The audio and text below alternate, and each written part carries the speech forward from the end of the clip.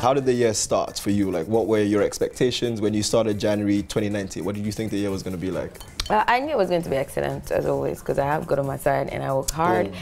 and I have an excellent team and also the media has been my friend Thank you, since yeah. I dropped my debut single. By now already spilled over from last year, so the year was was, a big- looking. it- it was a big so. The, so the, this- the year was looking good already, Yeah.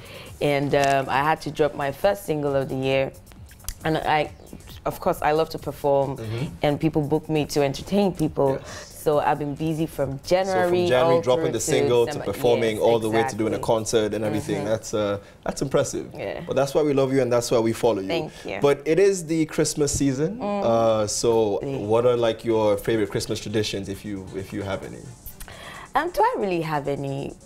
Um, but for me, it was just a time. It is a time actually to reflect Uh-huh. and be thankful, and you know, look forward to the next year. Even though my birthday is in December, at the end of the year, people start counting my, you know, start adding one extra you, year yeah, for me yeah, already, and yeah. like you're a year older in 2020. I'm like, was no, like, relax? relax. Yeah. Okay, that makes Yeah, sense. so, yeah. Okay, so Well, I make sure I spend time with family during, you know, Christmas. I can imagine. Yeah. You seem like you're a, you're, you're a big family person. oh Uh, yes, I am. You are also into a lot of giving.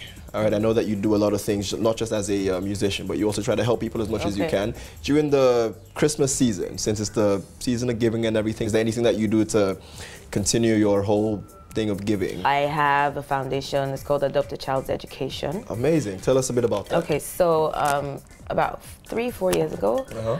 I um, went back to where I grew up. That's uh, Ire-Akari Estate in Isolo. Okay. I was born and bred there. Yeah. Up high. Shout out. You know, and I went to five um, primary schools, government schools actually. You went to five. Yes, five of them, and I asked for five of their best students each, Uh-huh. and they sat for an exam which I invigilated myself because I didn't want any um, form of ojoro. Yeah, you know what I mean?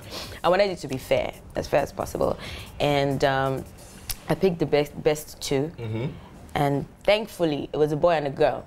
Amazing, so yeah, yes, yeah. and um, I gave them a six-year high school scholarship, which Six. um, includes tuition, books, uniforms, everything. and, all of that. And now they're done with their junior secondary school and they're in um, SS1 now, so I'm, I'm glad. That's and I'm crazy. very um, hopeful and that um, I will not abandon them after um, their high school education. Oh, yeah, fingers crossed. The, the better Exact- you do, the more you will be in a position to help exactly. other people. And also, um, when people invite me to um, perform for children, Uh-huh. I'm always there. It doesn't mean you're not pay me, but it depends on the program. All right, so you heard it over your knob. Obviously, she has a soft spot for families, friends, and especially kids. So um, if you ever need her for anything, at least reach out. You still go pay small shower. Yes, I mean, pay. hey, I mean, What do I want for Christmas? I want an all expense paid trip to everywhere that I ever want to go in the world. I just want to tour the world happily, do room service, have everything that I want to my disposition, and, and just have fun, really, traveling.